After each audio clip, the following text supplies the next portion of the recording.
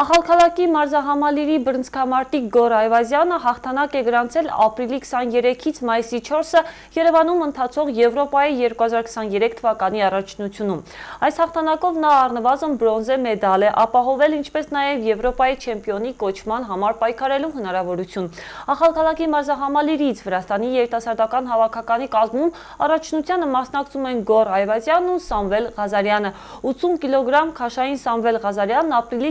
29 9-ին պարտվել է մրցակցին։ Գորայվազյանը շարունակում է պայքարը երիտասարդների առաջնությունում 54 կիլոգրամ քաշային կարգում։ Նշենք, որ Երևանում Վրաստանի հավաքականի մարզիկները նվաճել են առնվասն 6 բրոնզե մեդալ, հավաքականի 14 մարզիկներից 6-ը կշարունակեն պայքարը չեմպիոնի տիտղոսի համար։